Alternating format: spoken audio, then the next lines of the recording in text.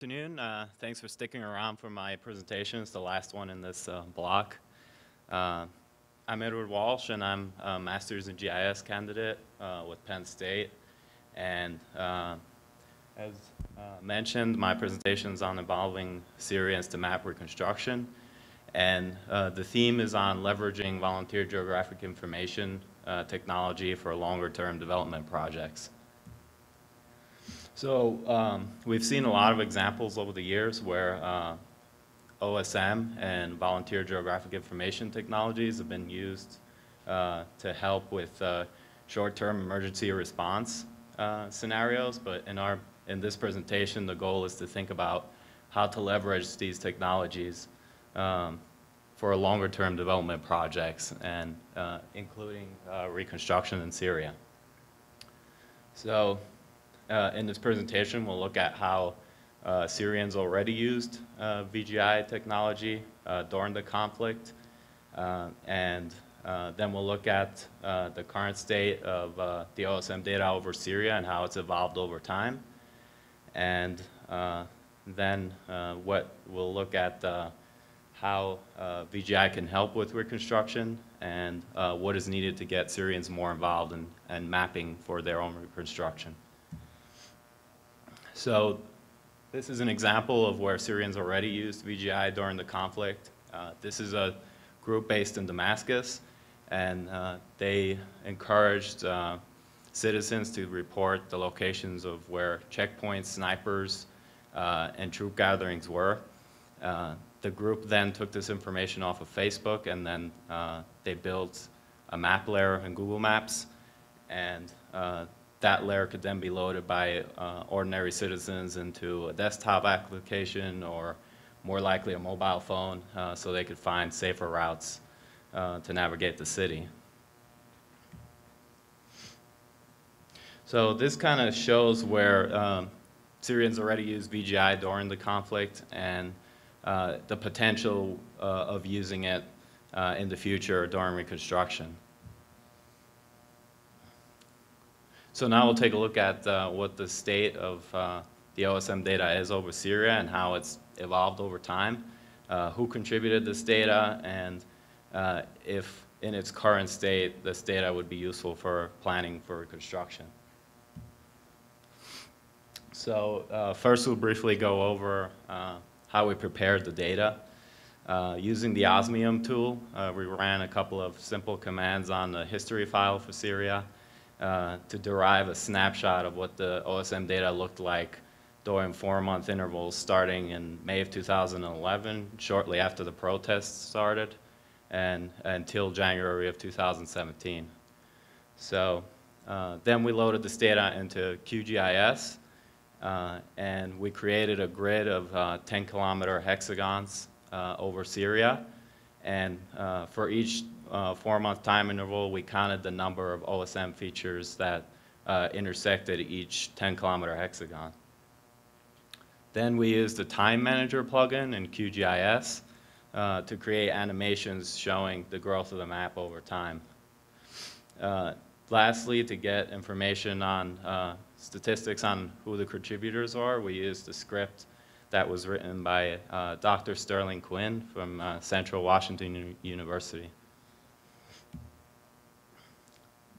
So in this first animation, we're going to take a look at the increase in the number of features uh, in four-month time increments, uh, and um, significant cities and towns will be labeled uh, on the map and highlighted.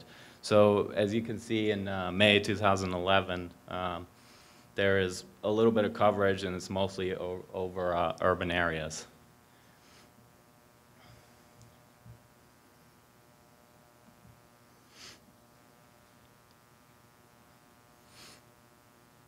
So by mid-2012, there's a lot of data added along Damascus, Homs, and Hama corridor area. Then by mid-2013, we see cities in the east mapped for the first time. Then uh, in 2014, uh, with the emergence of ISIL, we start seeing uh, smaller towns uh, get mapped in the north. And finally, uh, coverage improves a little bit more in the east and uh, over major urban areas in, uh, like Aleppo and Damascus. So on this graph, uh, we can see the steady increase in the number of features over time. Uh, earlier on, uh, a lot of the features that were added were ways, and later on, there's a notable increase in the number of area features added. Uh, and the graph also hints at periods of time when there were significant steps in the amounts of features that were added. so May 2012 is an example, or uh, May 2013 is another step. Uh, so to better understand when and where these significant additions were made to the map, uh, we'll uh, look at this animation.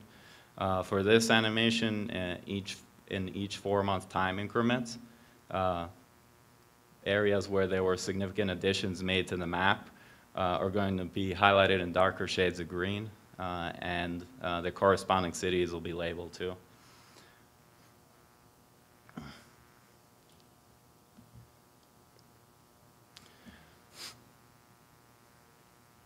So between January and May of 2012, a lot of data is added along Damascus Homs Hama, uh, where a lot of initial battles of the conflict were fought. In mid-2013, there's data added to several cities, including for the first time cities in the east. Then we have a little break where there wasn't much data added. And uh, ISIL emerges around the end of 2014, and we see a lot of data added to smaller towns in the north and the city of Raqqa, where they were uh, most active. Then we have uh, some data added to cities in the east, uh, then in the west. And uh, by the end of our study period, uh, in the final months of 2016, we see some data added to Kurdish majority area in the northeast, and uh, the city of Aleppo as it was uh, getting take, uh, overrun or getting taken over by the regime completely uh, at the end of 2016. So um, the irregular way uh, in which features were added over time, as depicted in this, in this graph, suggests the possibility that uh, significant events may have motivated users to contribute. Um, but it also suggests that a few super contributors may be responsible for a lot of the content. So with that, we took a look at who the contributors were. Uh, we focused on two dimensions of contributors, those who are likely local uh, versus those who likely aren't local, and those who are casual mappers uh, versus those who are super contributors. So we estimated that a contributor was likely local uh, when at least 70% of the change sets they made in OpenStreetMap were over Syria. And uh, they either had an Arabic username or they made a change set comment in Arabic. So looking at the total number of uh, contributions over time on the graph uh, in the orange, it's no surprise to see that uh, a lot of them are likely, we estimate that a lot of them are likely not local.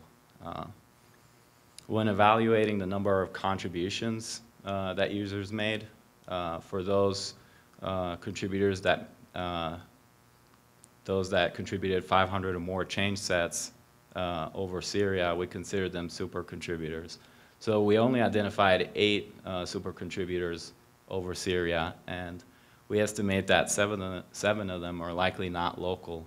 And the one local super contributor according to an online profile that we found, he's a member of the uh, Syrian diaspora that's in Germany now. So uh, in light of this, we uh, identified nine more local contributors that uh, added 100 or more change sets over Syria, and four of those nine uh, tagged 15 or more features in German. So considering how hard uh, it is for someone in Syria to uh, regularly contribute to the map. It's uh, not a stretch to say that those that are members of the diaspora are probably uh, more regular contributors than those that are still in affected areas. So overall, most change sets uh, in Syria may have been added by non-locals, uh, but thanks to the efforts of the one uh, local super contributor, uh, we estimate that around 40% of the change sets uh, were uh, over Syria were added by locals. So a lot of the damage done during the conflict was at the local scale. So in this animation, we're going to try and understand better what the OSM data coverage at that scale is for Syria over uh, the city of Aleppo. So uh, the title of the graph on the left may be a little bit hard to see, but uh, that's the time interval that we're looking at, and the yellow dot is the number of features for that, for that time interval. So we start with relatively lower coverage, and then the first large step in uh, row coverage is between May and uh, September 2012, and another step in the first four months of 2013. Then there's about 60 months where a lot of fe features, uh, where there weren't a lot of features added. And uh, between September and May uh, of 2000 and, uh, September 2014, May 2015, you see, uh, start seeing a lot of buildings being added to the west part of the city. Uh, and then finally, uh, in the later months of 2016, we see some buildings added to the east part of the city. So is this uh, data coverage and OSM adequate for reconstruction efforts? Uh, that doesn't seem to be the case uh, for Aleppo right now. Uh, according to a report that the World Bank published in July, um, most of the damage that was done to housing in Aleppo was in the central and eastern parts of the city. And those are the areas that have the least building coverage in OSM. And those areas also happen to be uh, areas that the rebels held for most of the conflict. The areas uh, that uh, OSM has the best coverage for uh, in the west of the city um, were controlled by the Syrian government for most of the conflict, and they didn't suffer nearly as much damage as the east and central parts. So in addition to housing, uh, the World Bank report also focused on the impact of the war on uh, power, water, medical, uh, and education infrastructure. Uh, current OSM data over Syria has a, a lot of uh, regional scale power data, as you can see on the graphic to the right. Um, but the subsidy scale uh, power data that would be needed for reconstruction planning is lacking uh, as indicated by the graphic on the, lower, on the left. Data on the water infrastructure is also very limited. Uh, only a small portion of medical facilities have been mapped and less than a fifth of Syria's schools uh, have been mapped. So as it stands, uh, OSM does not include enough coverage of uh, infrastructure that's important for reconstruction in Syria. This brings us to the next section on how can uh, volunteer geographic information technologies help with reconstruction. So uh, first, the war has led to a lot of tension and uh, divisiveness between uh, parts of Syrian society. So if reconstruction is done to favor only certain groups, which tends to be the case after almost any civil war, then uh, the tensions will only continue. But uh, OpenStreetMap and VGI uh, technologies are a great way uh, to try and get as many uh, Syrian groups, parts of society involved in planning for the rebuilding of their country. And um, to make its assessments, uh, the World Bank relied on imagery uh, and reports by the Syrian government and NGOs as well as social media. But if uh, locals were more involved in enhancing OpenStreetMap and volunteering geographic information, that could help provide much better uh, information on what local needs are. Reconstruction already began in a lot of uh, parts of Syria with uh, local groups organizing debris removal and with the regime staying in power, likely to stay in power, uh, a lot of donors uh, are going to uh, want to reach out to these local groups. So volunteer geographic information technology could help uh, provide uh, some more accountability and reassurance to those donors as to the funding of, of the projects that they fund. So a VGI platform can also uh, provide a common operating picture where you could have uh, utility companies and uh, donors, local authorities, citizens, and city planners all come together and add their data and, and update it. Um, facilitated volunteer geographic information methods could also be very helpful during reconstruction. Um, using methods similar to what uh, Seeger uses in this example, a city planner could present the layout to uh, local citizens and then they can provide feedback uh, on how they would like or how they envision their neighborhood would look like. Um, this can make sure in neighborhoods that are diverse and have several groups uh, living in them that the account that uh, the needs of these different groups are being accounted for.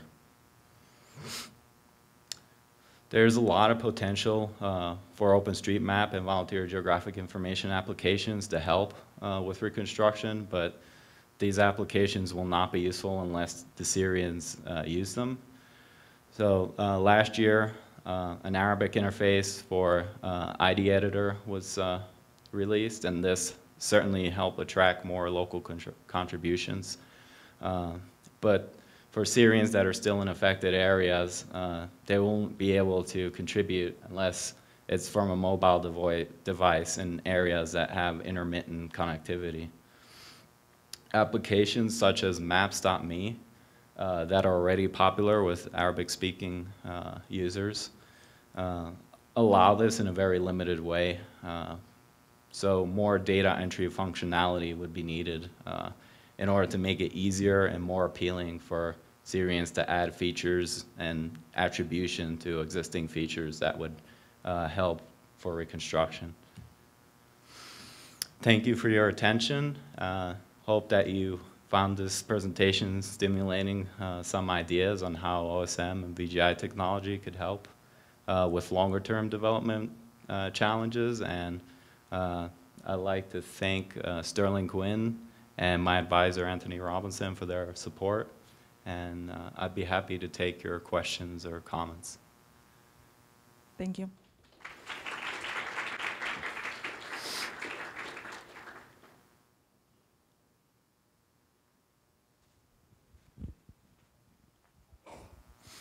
Hi. Um, why do you think there was such a discrepancy between the amount of data added in Aleppo and various areas of the city? Can you repeat that? Why do you think there was basically so much more data added in the western area of Aleppo versus the eastern? That's a good question I'd like to look more into. Uh, looking at the imagery over that area, it seems like those areas may have been easier to map actually because the uh, eastern parts of the city, uh, housing is more dense, so it's a little bit harder, uh, especially for someone who's not from the area to, to go and map the building. So that may be one reason, but uh, that's a really good question though that uh, be worth looking into more. So did you try to find out a correlation between the number of change sets uh, uh, in OSM versus the timeline of the war? Uh, no. Okay. I assumed that there was more. uh, so we looked at the number of contributors over time, and there was a steady increase until 2016. There was a dramatic increase in the number of contributors. So that may be correlated to number of change sets too, um, but here's.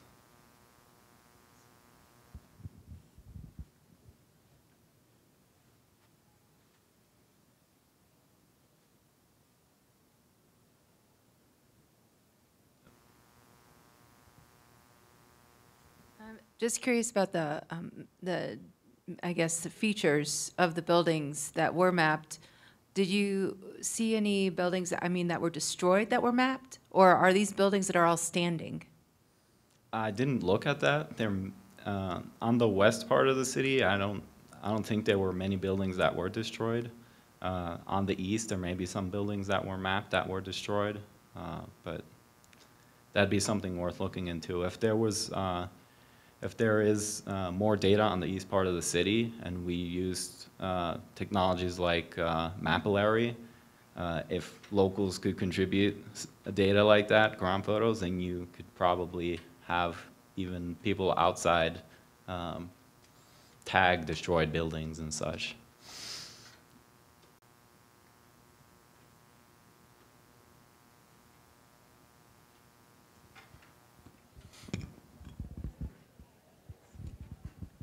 Uh, My question is, how do you see this actually playing out during the reconstruction process? If a lot of these features are destroyed, do you want, do you think people are going to try to recreate the city as it was? Or is it going to be like a Syrian government kind of top-down imposition, reconstruction, resettlement process? Uh, the way it's working out right now is it's very localized, uh, but uh, we're starting to see like some Iranian companies uh, are starting to have deals with the regime. Uh, even some Turkish companies, although they don't get along uh, with the Syrian government, they they're trying to to get in on it too. So um, some donors they want to reach out uh, to just local groups. So some efforts are going to be local, some are going to be government. That remains to be seen. But I feel like there is a potential uh, during different stages of reconstruction that Syrians could use uh, these type of technologies to to help uh, inform reconstruction plans and during reconstruction uh, coordinate some logistics maybe and um, yeah. It would seem that OSM would allow you to be more anonymous than, say, Facebook. Do you believe that that would be a factor? Um, yes, you'd hope that uh, more locals would be willing to contribute because uh, being on social media could get you targeted in Syria. Uh, so yeah, that's that's a good uh, um, good thing to consider.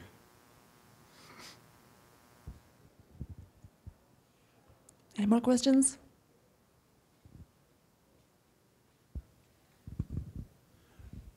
I- I was just curious, is there any metric system as, um, you said there were individuals reporting from Germany or outside of the local area as to accuracy or? Uh, we just did a rough estimation. Uh, we just looked at where they did most of their mapping, assuming that if most of their mapping was in Syria, that they may be from there. And looking at their username, if it's in Arabic, then maybe they're from that area. Uh, but we could, uh, with the script that we ran, we were able to take a look at uh, what languages they've tagged uh, features in. So uh, it was a little bit surprising to see that uh, the ones that were more regular contributors that seemed to be local uh, were adding stuff in German as well.